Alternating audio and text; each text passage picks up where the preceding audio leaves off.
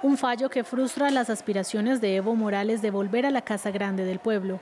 La Corte Constitucional de Bolivia tumbó la reelección indefinida. De paso, descalificó al exmandatario para postularse a las elecciones de 2025.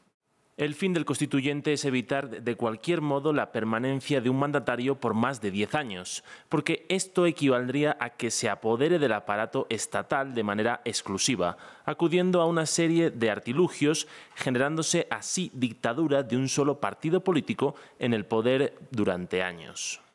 En su nueva sentencia, el alto tribunal aclara que el periodo presidencial de cinco años puede repetirse una sola vez, de manera continua o discontinua, y revoca un fallo previo que definía la reelección como un derecho humano y que le dio vía libre a Evo Morales para buscar su cuarto periodo en 2019.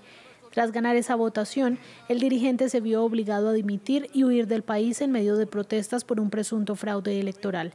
Ahora culpa a sus detractores de conspirar en su contra. El plan no solamente quitarnos el MAS y PSP, sino es proscribir y eliminar a Evo como candidato. Nunca quieren que la gente pobre, la gente humilde haga política.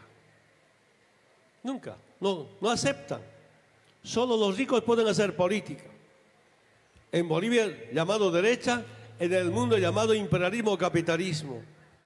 Janine Áñez, quien reemplazó a Evo Morales en su momento y ahora enfrenta un juicio por un supuesto golpe de Estado, dijo en su cuenta de X que el tribunal acabó con el delirio de Morales de ser reelegido para siempre, haciendo alusión a que esta sentencia no es apelable.